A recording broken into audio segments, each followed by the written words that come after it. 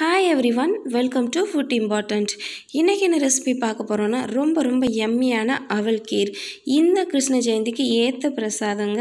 இந்த கிருஷ்ண ஜெயந்திக்கு கண்டிப்பாக அவல் கீரை செஞ்சு பாருங்கள் ரொம்ப ரொம்ப டேஸ்ட்டாக இருக்கும். வாங்க எப்படி பண்ணுறதுன்னு பார்ப்போம். அதுக்கு ஒரு பாத்திரத்தில் மூணு டீஸ்பூன் நெய் சேர்த்துக்கலாம். நெய் சேர்த்ததுக்கப்புறம் ஒரு பத்து பாதாமியும் பதினஞ்சு முந்திரி பருப்பையும் இந்த மாதிரி ஒன்று ரெண்டாக கட் பண்ணி வச்சுருக்கேன். அதை சேர்த்துக்கலாம். நல்ல கோல்டன் கலர் வர்றது வரைக்கும் ஃப்ரை பண்ணி வெளியே எடுத்து வச்சுக்கணும். அதே பாத்திரத்துலேயே ஒரு பதினஞ்சு திராட்சையை ஆட் பண்ணிக்கோங்க. ஆட் பண்ணிவிட்டு நல்லா ஃப்ரை பண்ணிக்கோங்க. இந்த மாதிரி உப்பி வந்ததுக்கப்புறம் அதையும் நம்ம வெளியே எடுத்து வச்சுக்கலாம். அதே பாத்திரத்தில் இதே நெய்யோடவே நம்ம ஒரு கப் அவலை இந்த மாதிரி கழுவி எடுத்து வச்சுருக்கோம். அதையும் ஆட் பண்ணிக்கலாம். ஆட் பண்ணிவிட்டு நல்லா ஃப்ரை பண்ணிடுங்க ஒரு ரெண்டு நிமிஷமாவது நம்ம ஃப்ரை பண்ணிக்கணும். இந்த மாதிரி ஸ்டேஜ் வர்றது வரைக்கும் ஃப்ரை பண்ணிக்கலாம். இந்த ஸ்டேஜில் நம்ம ஒரு ஹாஃப் லிட்டர் பாலை ஆட் பண்ணிக்கலாம். மொத்தமாக இந்த ரெசிபிக்கு ஒரு லிட்டர் பால் தேவைப்படுங்க. முதல்ல நம்ம ஒரு ஹாஃப் லிட்டர் பாலை ஆட் பண்ணிவிட்டு அவளை நல்லா வேக விடுங்க. பாலிலே நம்ம அவள் வந்து நல்லா வெந்து வரணும்.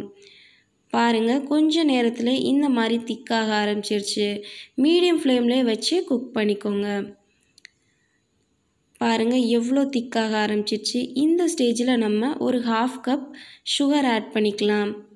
நான் கண்டென்ஸ் மில்க் ஆட் பண்ண போகிறேங்க அதனால சுகர் ஒரு ஹாஃப் கப் போதும். இந்த மாதிரி ஆட் பண்ணிவிட்டு நல்லா மிக்ஸ் பண்ணி விட்டுருங்க. பாருங்கள் இந்த மாதிரி கொதித்து வந்ததுக்கப்புறம் நம்ம மிச்சம் உள்ள ஒரு அரை லிட்டர் பாலையும் இதில் ஆட் பண்ணிக்கலாம். மொத்தமாக இந்த ரெசிபிக்கு ஒரு லிட்டர் பால். ஒரு நாலஞ்சு ஏலக்காவை இதில் தட்டி போட்டுருங்க. போட்டுட்டு நல்லா மிக்ஸ் பண்ணி விட்டுருங்க. பாருங்கள் இந்த கொதித்து வந்ததுக்கப்புறம் ஒரு கால் கப் கண்டென்ஸ் மில்கை ஆட் பண்ணிக்கலாம். கண்டென்ஸ் மில்க் இல்லாட்டா ஒன்றும் பிரச்சனை இல்லைங்க.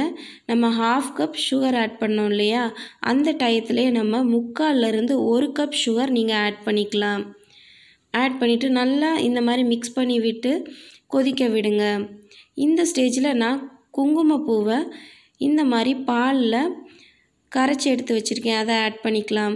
ஃப்ரெண்ட்ஸ் இது முற்றிலும் ஆப்ஷனல் உங்களுக்கு குங்குமப்பூ இல்லை அப்படின்னு நினச்சிங்கன்னா அதை நீங்கள் ஸ்கிப் பண்ணிக்கலாம்.